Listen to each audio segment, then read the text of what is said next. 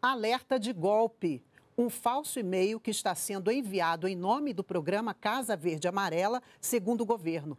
Júlia Ballarini, em São Paulo, traz as informações ao vivo para a gente. Bom dia, Júlia.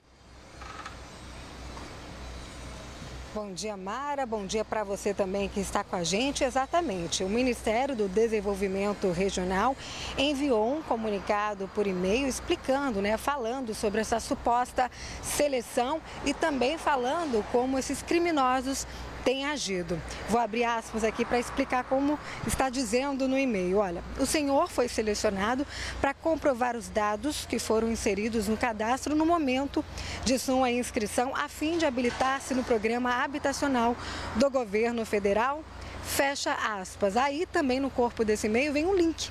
E esse link é hackeado. Então, explicando se você receber um e-mail com esse conteúdo, não é do governo federal. Esse conteúdo vem sendo espalhado aí por e-mail com spam.